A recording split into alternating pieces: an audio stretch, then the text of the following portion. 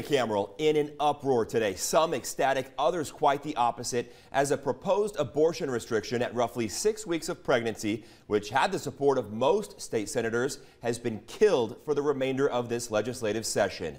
Because of a two-thirds majority rule, LB 626 could not make it past a critical procedural step in today's second round.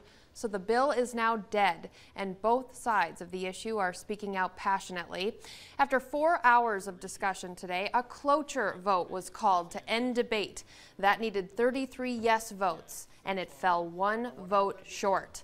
In a major twist, Omaha Republican State Senator Merv Riepe was one of two senators who chose not to cast a vote. The other was Democrat Justin Wayne.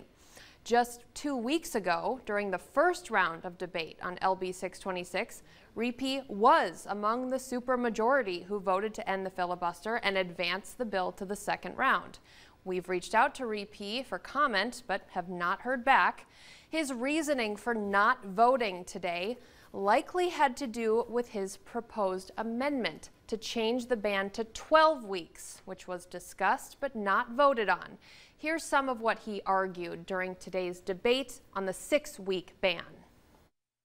Any such limitation must be reasonable and it must be meaningful in that the time frames imposed must afford a woman sufficient time to determine she is pregnant and to take reasonable steps to determine that pregnancy and that six weeks is quite simply not a reasonable period of time for those two things to occur.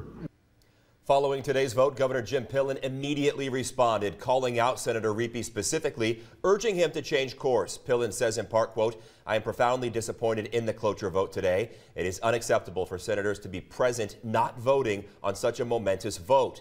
I call on Senator Merv Riepe to take a motion to reconsider and stand by the commitments to life he has made in the past.